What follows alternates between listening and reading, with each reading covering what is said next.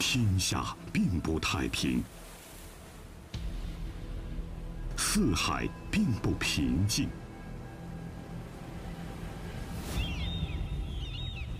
面对威胁，唯有以强制胜。中华民族伟大复兴的脚步，不容许被任何人、任何势力所打乱。在新时代的征程上，建设一支强大的人民海军的任务，从来没有像今天这样紧迫。在大风大浪、远海大洋中，把部队锤炼成攻必克、守必固的海上劲旅，海军将士时刻牢记习主席重托，从难从严，大抓实战化军事训练。核心作战能力不断提升，一声令下，决战决胜，这是每一名海军官兵的铮铮誓言。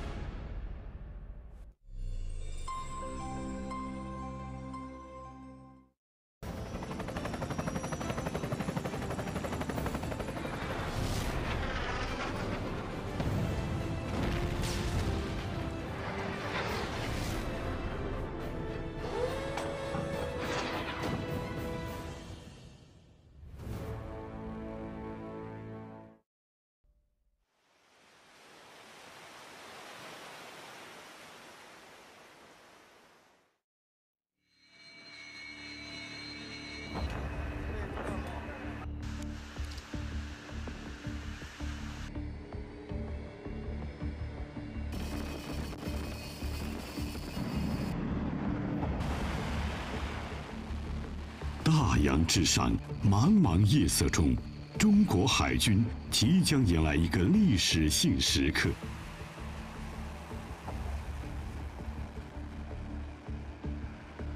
两架歼十五舰载战斗机将在黑夜中精准对接，完成难度系数极高的夜间空中伙伴加油训练。空中加受油。被称为空中穿针引线厘米级飞行，难度不言而喻。车辆看到了吗？车辆看到，车辆加入。而在暗夜微光条件下开展这项训练，更是难上加难，惊险万分，也是世界各国公认的顶尖飞行科目。加入，好，多少高度？明白。高难度，高风险。然而，这却是航母舰载战斗机夜间训练的重要一步。随着两架舰载战斗机顺利对接，航母舰载战斗机的战斗半径再次拓展，中国海军航母编队体系作战能力又一次飞跃。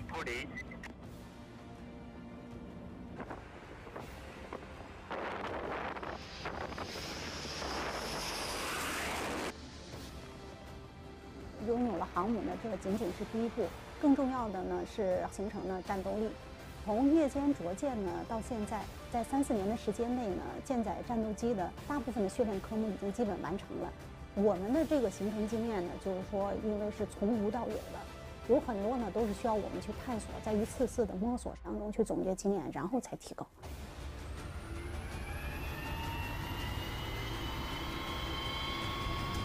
由岸基向舰基，由单机到编队，由昼间到夜间，由近海到远海，中国海军航母舰载战斗机助推航母编队初步形成体系作战能力。人民海军正以前所未有的崭新姿态，向着世界一流海军阔步前进。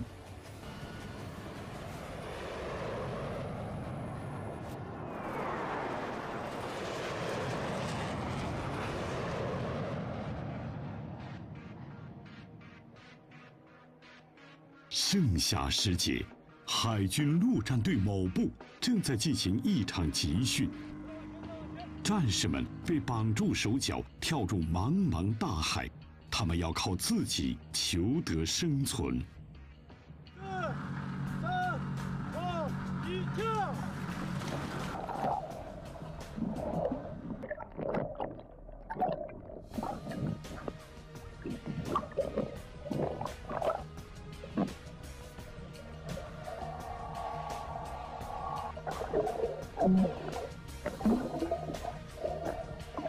是一种特殊的训练方式，锤炼的是战士过硬的本领和坚强的意志。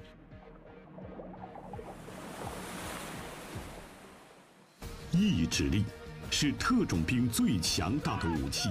想要赢得战争最后胜利，陆战队员必须具有无比强大内心和坚强意志。二零一七年，根据党中央和中央军委关于深化国防和军队改革的决策部署，海军陆战队调整组建。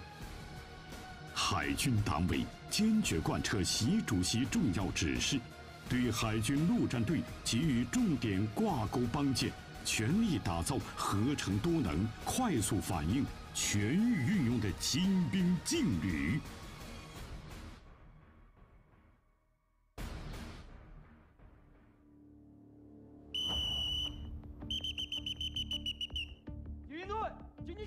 天两夜，粒米未进，和超强度体能训练，已让海军陆战队员们疲惫不堪。啊，一听，都还没有？睡醒。兄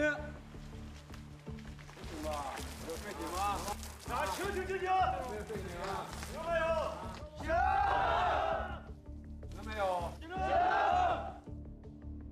何龙，战士们眼中的传奇教官。他的传奇来自于一场为期两年的魔鬼训练，他的故事被一茬茬官兵传颂。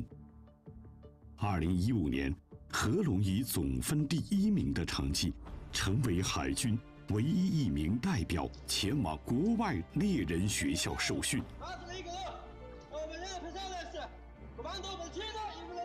这所全球闻名的特种兵训练学校。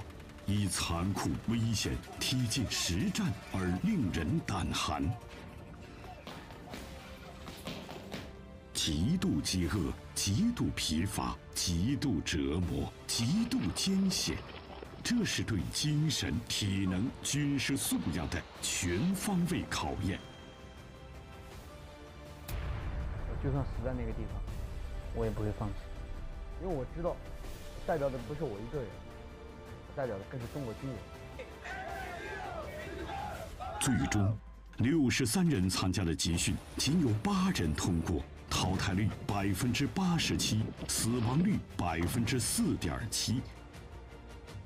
跨越生死与残酷，何龙永摘桂冠，并被授予最高荣誉——突击队员荣誉称号。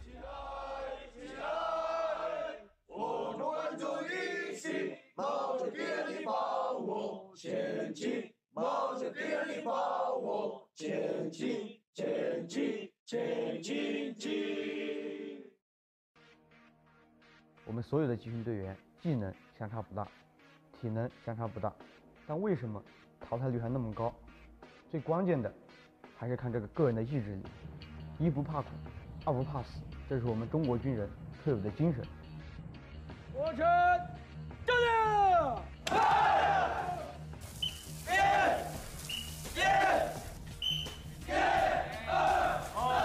程，站定！一个小时零五十七分钟，快点快点，最后冲过去！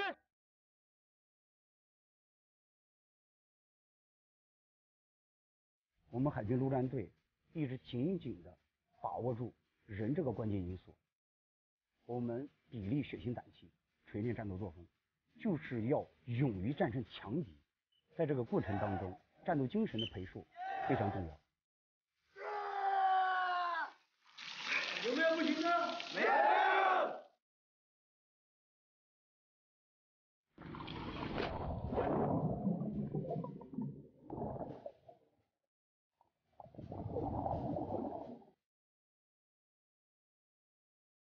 从边陲荒漠到偏远山区，从北国密林到南国岛礁，从内陆腹地到远海大洋，海军陆战队军中之军、刚中之刚的美名淬火而生。海军陆战队的升级转型，正是海军整体转型发展的缩影。党的十八大以来，海军各级紧盯强敌对手，聚焦备战打仗，大抓实战化军事训练，部队履行使命任务能力不断提升。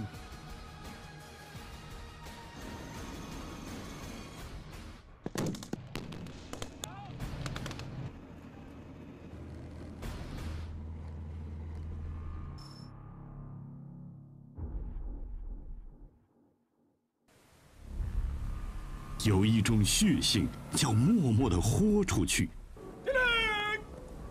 对于潜艇部队来说，他们能打胜仗的过硬本领，来自于每天面对的生死考验。战士们正在进行一场脱险训练。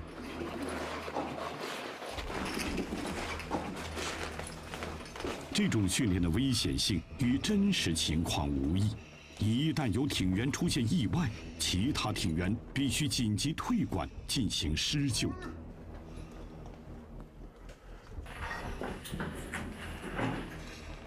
那套装具是个呼吸器，当人紧张了以后，他会喘不动气，会憋气，那就会很危险。他可能一进以后心里恐惧，可能就无法呼吸。这个什么剑？二号装具没没变。这是对战士体能和心理的极大考验，也是成为一名合格潜艇兵的必经之路。这步蹲。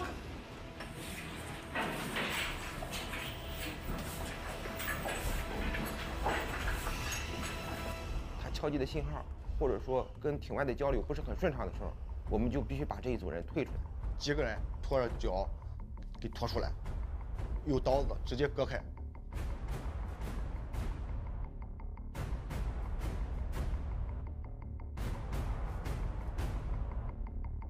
我当了三十多年的兵了，当时我当新兵那种心里的恐惧感啊，经过了长期的训练，慢慢慢慢这恐惧感才把它克服了。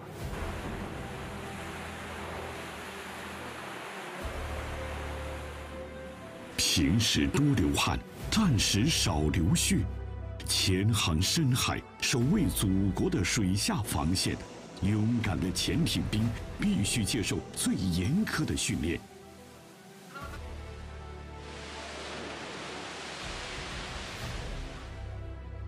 就是凭借过硬的打仗本领和心理素质，中国海军官兵创造了世界潜艇史上的传说。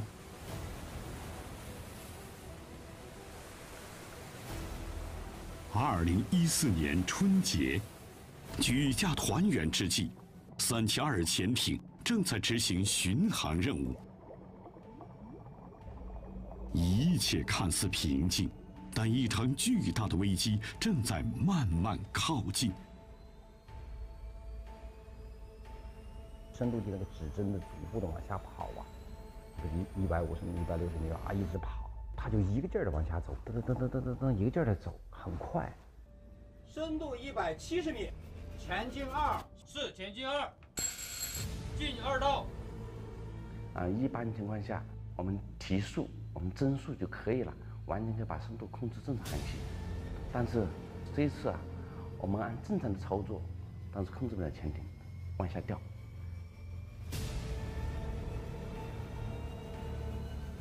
掉身是潜艇的噩梦，遭遇掉身时，潜艇瞬间失去浮力，如同悬崖边失足跌落，深度迅速下降。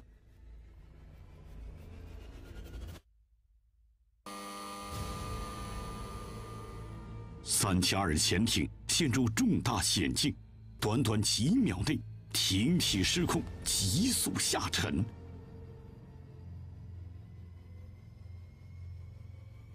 潜艇下太快的时候啊，它异常的有那个肛门被压缩的声音，嘎嚓响。深度一百八十米，主电机准备水下航行。对主电机准备水下航行。停车。增速、排水等提升浮力的应急措施都没起到明显作用，下坠趋势仍在持续，潜艇所承受的压力也在不断加大。砰，汤呢就是砰的一声，什么声音？五舱进水，五舱进水！砰的一声响，那个水晶就漫上来了。午餐连续发生了破损进水，这是最糟糕的。舱身进水，它的后果是最严重的。下潜以后会造成整个顾客会被压扁，就毁容。小水武昌进水，上号警报！向上警报！报告情况，武昌进水，武昌不能堵了。武昌是我们的心脏，它是提供动力的。如果心脏里面失水，我的心脏就不能用电了，那动力系统就没了。海水以每秒几百升的速度喷涌而出，它那个那个速度是非常之快的，二三十个压力就是一根细管，就跟子弹一样的，你站到那里人是可以击穿你的。进水多以后，那浮力就不够了，哪怕你后面把它处置过来，但是你也不具备潜艇浮起的能力了，潜艇会加速下沉。所以这个时间是太宝贵了。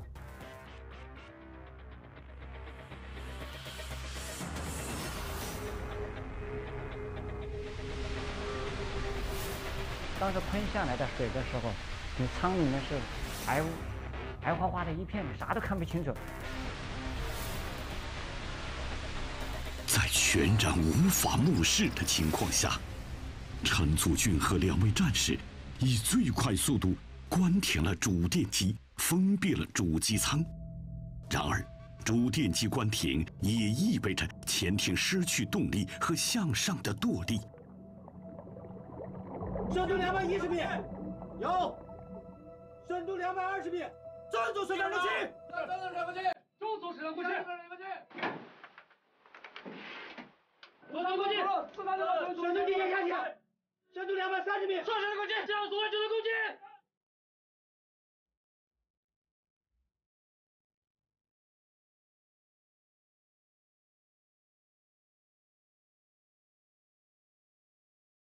你唯一的手段正是供气，再没其他手段可以解决了。就是你竭尽全力了，我们在等，等待，就是你所有的手段全部用完了。如果它浮起来了，就浮起来了；如果它没有浮起来，我们二次攻击不可能，可能我们就就就下去。我们把所有的措施采取之后啊，我们潜艇里面特别安静。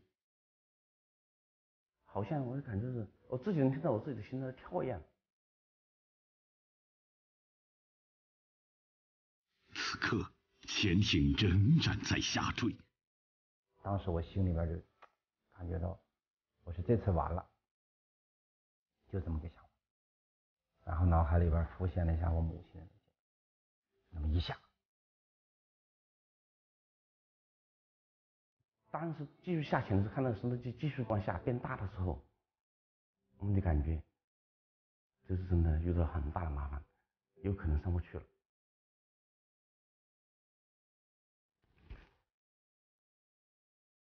当时一瞬间的时候，我是最是想我女儿，我很少有时间回家。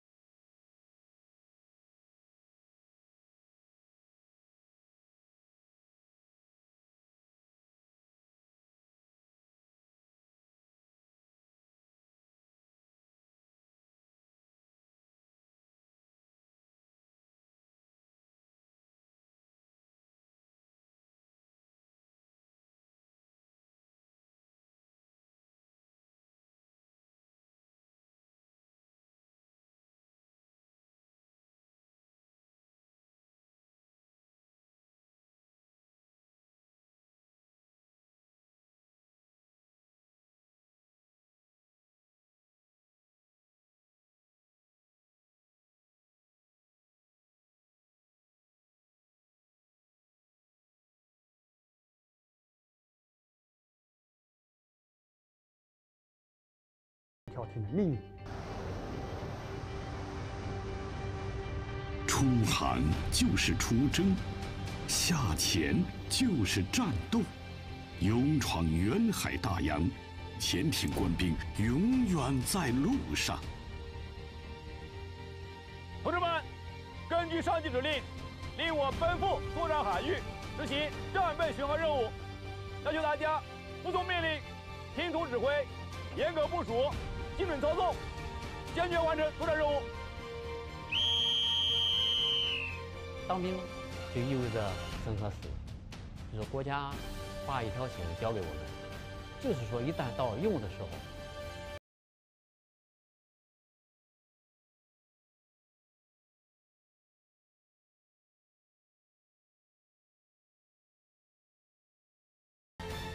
党其所指，军旗所向，大海不会忘记七十二年峥嵘岁月，人民海军官兵忠诚使命、英勇善战、建功海洋，用青春和热血奏响了一曲高昂的强军战歌，在万里海天书写了小艇打大舰、海上拼刺刀。空中白刃战的铁血传说，铸就了海上猛虎精神、海上先锋精神、海空雄鹰精神、西沙精神、南沙精神、核潜艇精神。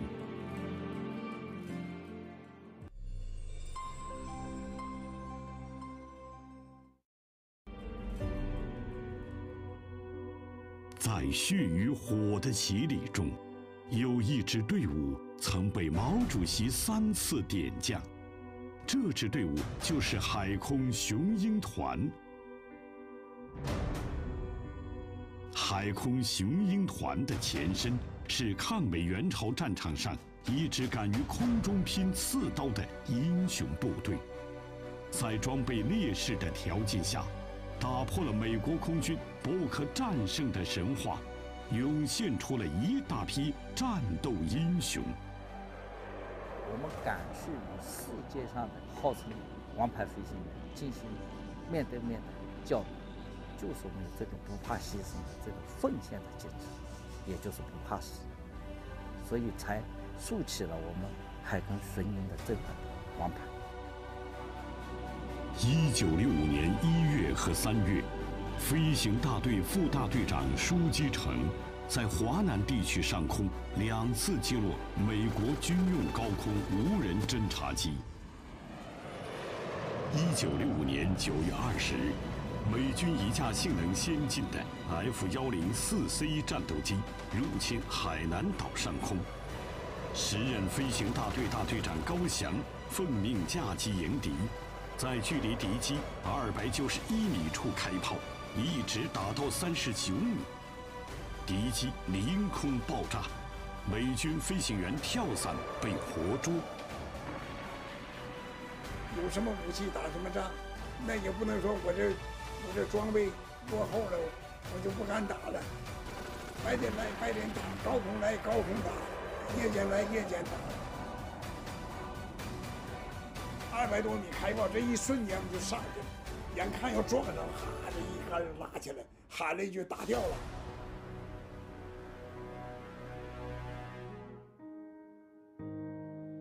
这是一种已然将生死置之度外的打法，就算同归于尽，也要驱逐侵略者的英雄气概。正是凭着这种空中拼刺刀的血性胆魄，打出了新中国一片和平蔚蓝的海天。我是中国海军航空兵，你已接近我领空，立即离开，立即离开，否则将遭到拦截。This is China Naval Air Force on guard. You are approaching Chinese air domain. Take reverse course immediately. Take a reverse course immediately, or you will be intercepted.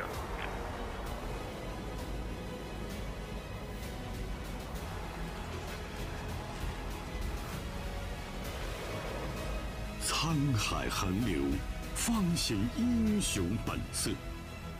今天，以驱逐舰、护卫舰为代表的海军水面舰艇部队成建制更新换代，人民海军也迈出了由黄水走向深蓝的铿锵步伐。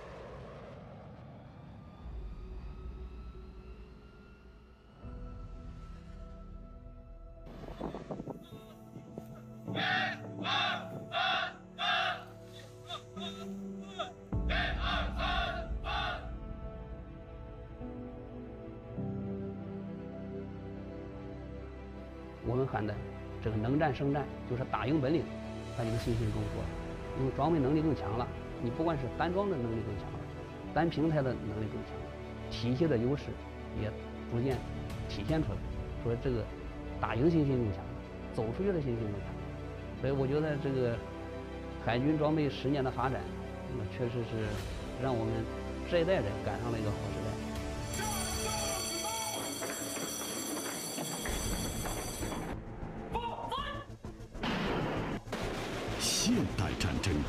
进入秒杀时代，世界军事强国正在将一小时全球打击变作现实。战争这个样式在变了，因为现在更多的是信息主导，而且节奏也更快。那是快一秒，快这个零点五秒，那就不一样了，那就直接决定了一场战斗的时候这个成败。到真正战斗的时候，那就是关乎生死。重点坐落三面。海上环境复杂多变，来袭目标速度越来越快，隐蔽性越来越强，想要做到秒杀，并非易事。为了这一秒的话，我们要进行大量的训练，把一些装备的使用的数据、人员的反应时间这些第一手的资料摸清了、摸透了以后，然后再反过来进行研究，我怎么去优化。如果说我们用了一年时间，我们的成果只是为了那一秒。世界新军事革命方兴未艾，人类战争形态深度演进，由水面、水下和空中多领域作战力量构成的一体化作战体系，正在让现代海战发生天翻地覆的变化。联合作战、体系制胜，是通向战争胜利之门的密钥。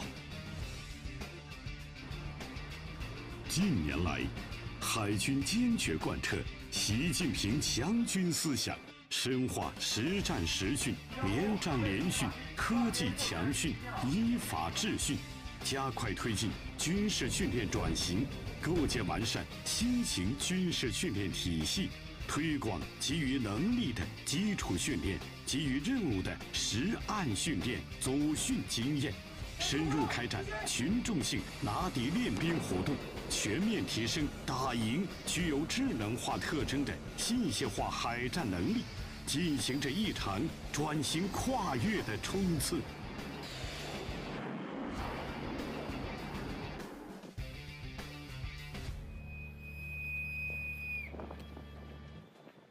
这是一场发生在思想观念和头脑里的冲锋和战斗，指挥员要应对巨大的挑战。这两年，你比如说，我们这种体会很深刻，有的时候搞一个专项研究，搞一个专项训练，那确实一天只睡那么三四个小时、两三个小时，那就是你躺在那儿呢，满脑子里面都是想着这个事儿到底该怎么弄。从指挥员层面来说，你要去学习对手是什么样的，啊，任务本身会是什么样，啊，它将来的场景会是怎么样，甚至有的时候你要去根据你这些场景来设计我的训练，这样未来的战争在训练中去体现，提前展现在你面前，这样你去应对，你想到的可能就会方方面面，需要做的事儿太多了。走向远海大洋的实战化演兵场，海军官兵们渴望着惊涛骇浪的洗礼与检验。大洋之上，多艘新型战舰战机和潜艇组成的舰艇编队，正紧张进行着一场联合作战演练。每艘战舰都是这张无形攻防大网中的重要节点。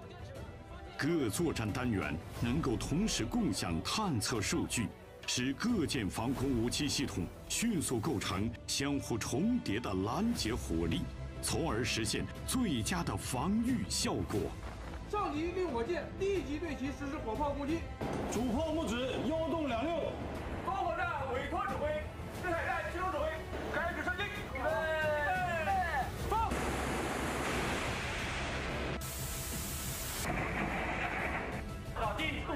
高动腰的目标，同步实现。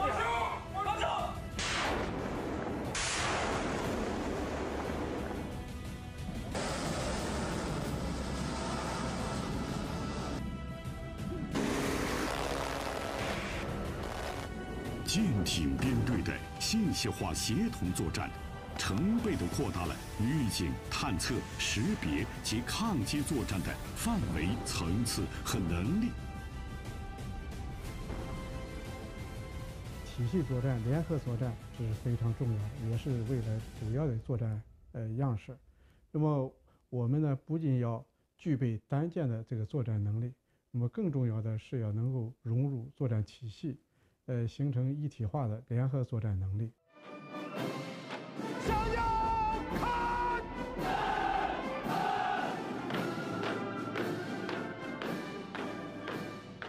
建设一支强大的人民海军，寄托着中华民族向海图强的世代夙愿，是实现中。